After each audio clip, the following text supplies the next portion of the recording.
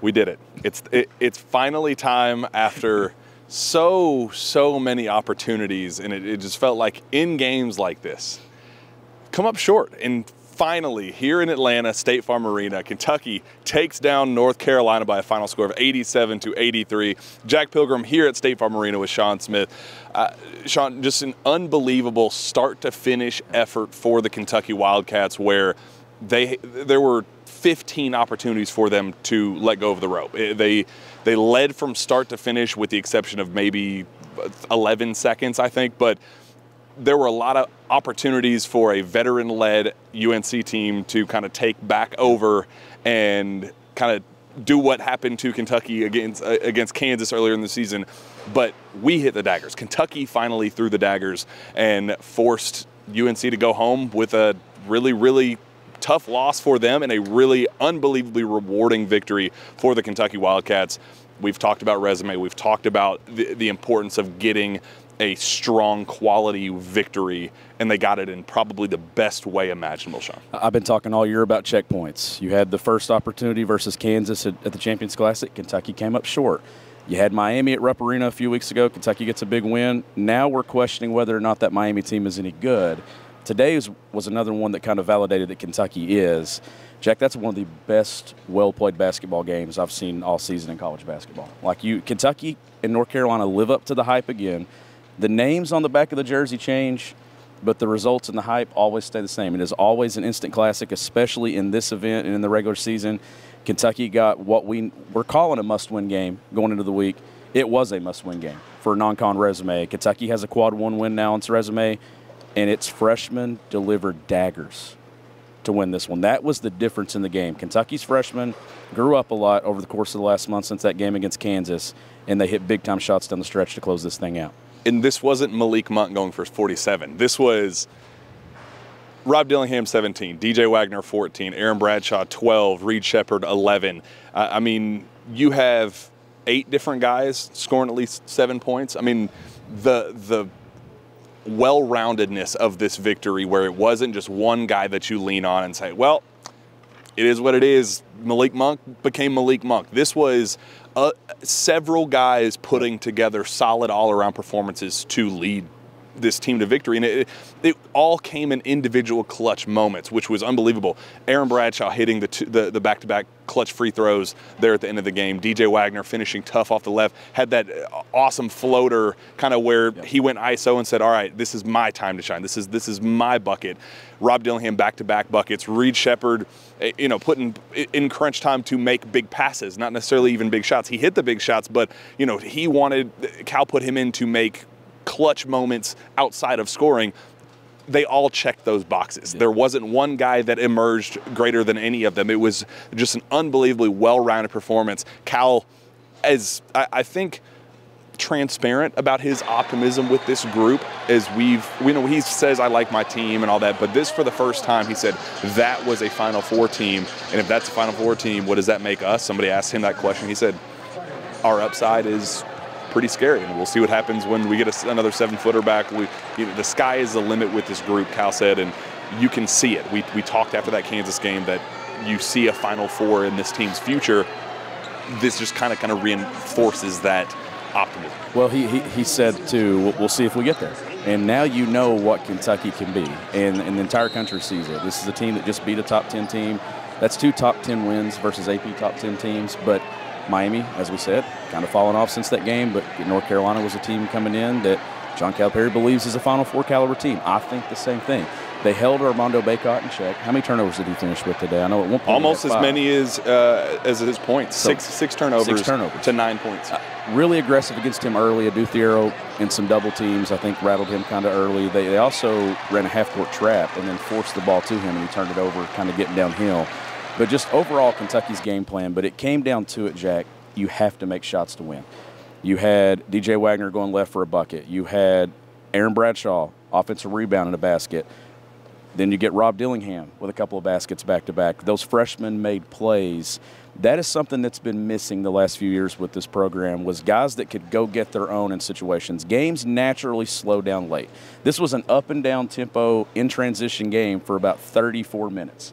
And in the final six minutes, things slowed down. Kentucky did get stagnant, But when it got stagnant, it still had dudes. It had dudes that could go get a play for themselves. And Kentucky had that in Rob, it had it in DJ. Aaron goes and gets an offensive rebound. How about Reed Sheppard being the trigger man on some inbound situations late in games? That right there shows you that John Calipari trusts him.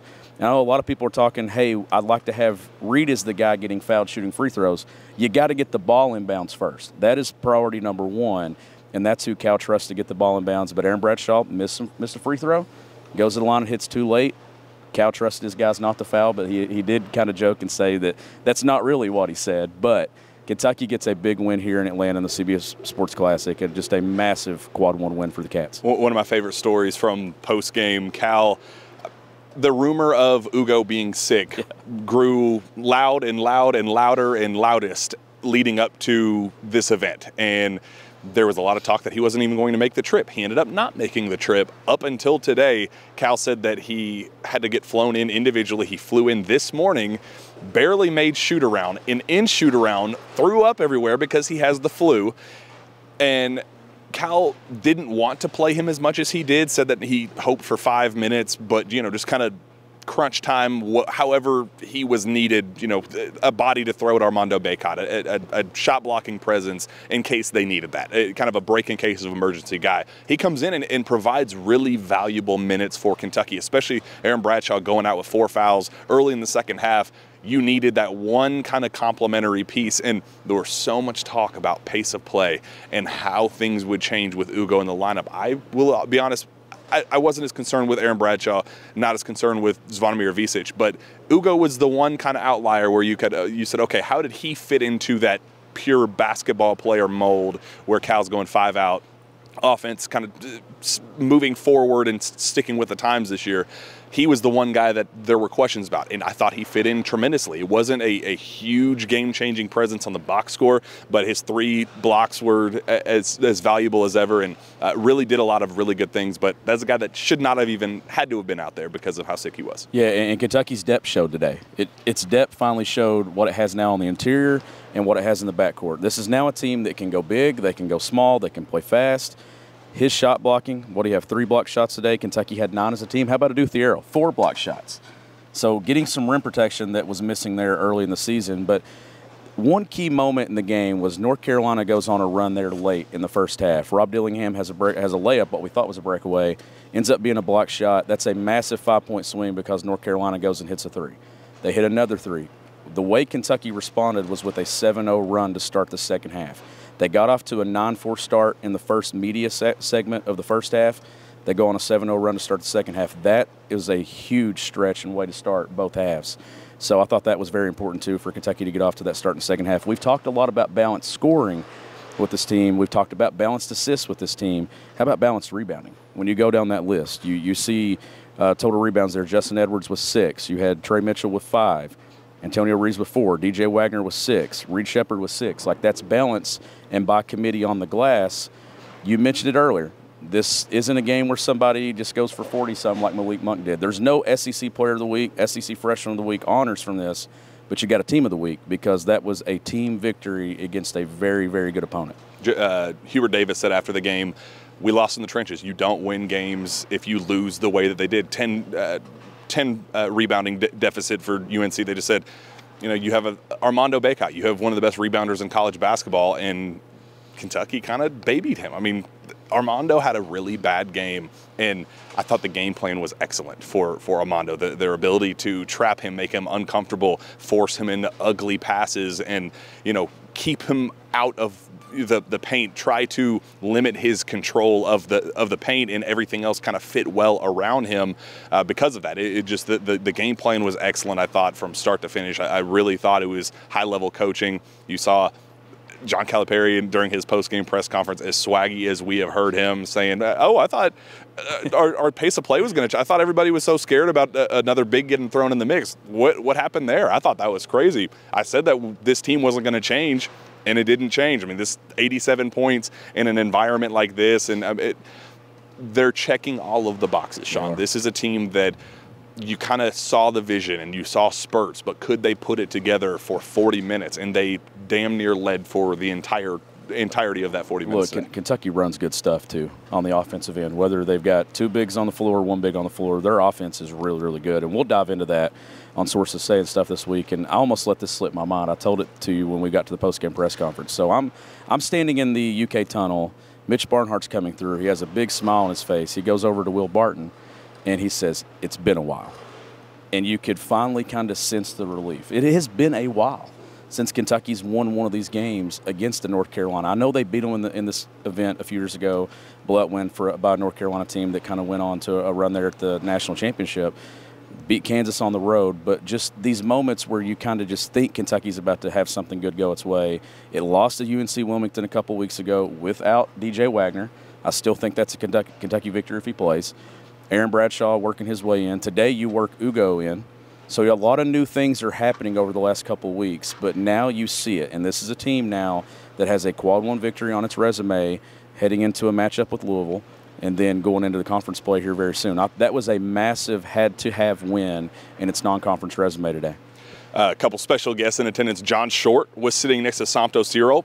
I don't know how that happened, but whoever coordinated those that duo well done. Tip of the cap to you. Um, John Wall was courtside and had a lot of back and forth moments with Rob Dillingham and John Calipari actively talking to him during the game. That part was really cool. And then on my way out, I actually saw Caleb Wilson, 2025 five star, one of Kentucky's top targets for that class, you know, top five recruit in the nation, was leaving the stands very clearly excited and happy. He's a Georgia native. Uh, for you know a high level recruit to be able to see this product in his you know hometown again, it's it was just they checked all of the boxes as high as you you, you had to get a, a, quad one victory. You had to start building a resume. That's kind of the the. The the tip of all this, and even as low as just recruiting momentum and other things kind of behind the scenes. Uh, th- this game was so necessary, so important, and they finally got it. Sean, as as Mitch Barnhart said, it's been a while, and it felt really really good to to knock this one out uh, I'm leaving Atlanta very, very pleased. Yeah, I'm leaving Atlanta very, very pleased too because, I, like I said, I've been talking about checkpoints. You and I did the rapid reaction together in Chicago a little over a month ago, and we talked positive about this team and to, to kind of stay the course that this thing has a chance to end in Phoenix with Kentucky in a Final Four, maybe runner up or national champion. Who knows how, what happens when they get there? The upside is there. How about this building today? How about the energy in this place? Two fan bases I know it's Kentucky Louisville when you're talking rivalries. It's Kentucky Tennessee in the SEC, Kentucky Duke. You give me Kentucky and North Carolina every single time because it's an instant classic, regardless of where this thing's played. Both fan bases showed up today.